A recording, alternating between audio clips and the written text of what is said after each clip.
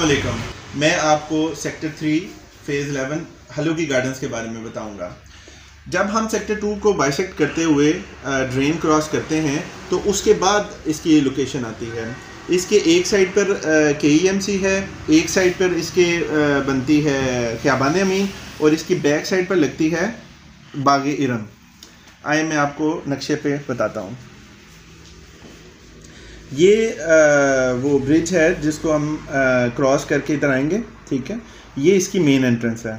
Start में ये सारे आठ मरले के प्लॉट्स आएँगे। ये जो हमने इसको पिंक शेड किया हुआ है ठीक है?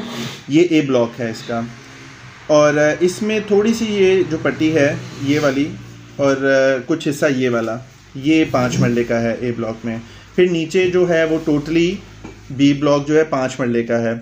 इसमें इन्होंने ये जो है रेड जो हाईलाइट किया हुआ है, ये इन्होंने अपने ही एम्प्लॉयज़ को घर बना के दिए हुए हैं।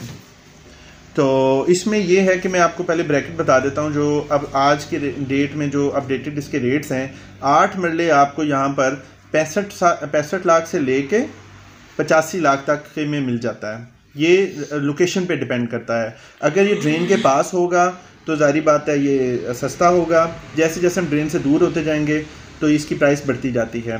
जिस तरीके से ये अगर हम इस eighty feet road sixty feet road पे आ जाते हैं तो इस पे आपको अंदाजन मैं आपको बता देता हूँ कि एटी फाइव के अराउंड आपको आठ मरले का प्लॉट मिल सकता है। तो अब मैं आपको पाँच मरले के रेट बता देता हूँ। ये है तकरीबन फोर्टी फाइव से स्टार्ट होंगे, ठीक है, और फिफ्टी फाइव तक जाएँगे। फोर्टी फाइव वो होंगे जो ये हाई टेंशन वायर के करीब करीब आ जाएँगे बिल्कुल करीब। तो उसका आपको पता है कि थोड़ा बहुत रेट कम होगा।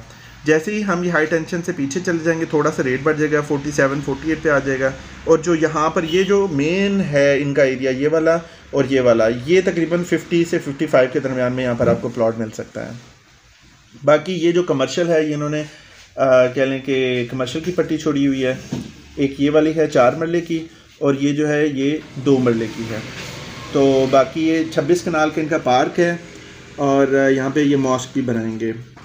स्पोर्ट्स कॉम्प्लेक्स के लिए भी जगह इन्होंने छोड़ी हुई है। जैसे कि आप वहाँ पर जाके देख भी सकते हैं कि जो कनाल ये जो 26 कनाल का पार्क है, इसमें इन्होंने काम भी शुरू कर दिया हुआ है। इसका जो ट्रैक है, जॉगिंग ट्रैक, वो भी बना रहे हैं। काम तेज़ी से जारी है।